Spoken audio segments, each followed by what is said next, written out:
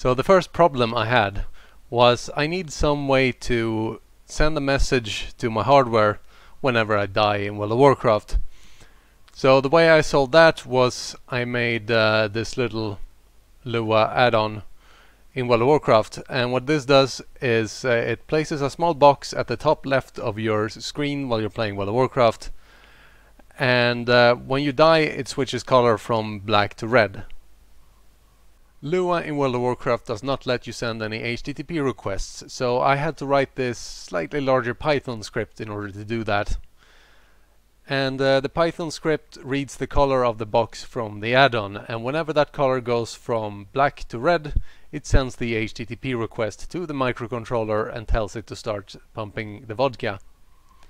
Keep in mind that this might be sort of like a gray zone within the uh, terms of service of World of Warcraft, but considering it doesn't give me any game advantages and uh, it's, it's just a one-off experiment, I don't think I'll have too much of a problem with it. Now let's take a look at the hardware. This white bar here is known as a load cell and it's basically a, a digital scale so I can sense how much vodka I've poured into the glass. Now the, the readings from the load cell comes into the load cell amplifier here and uh, then they are passed into the ESP8266 which is basically a small Wi-Fi enabled Arduino.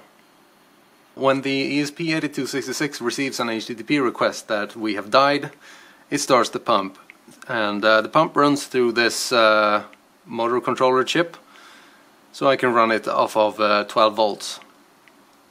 The final part is this button here which when pressed reverses the pump and empties the tube for when I'm done testing.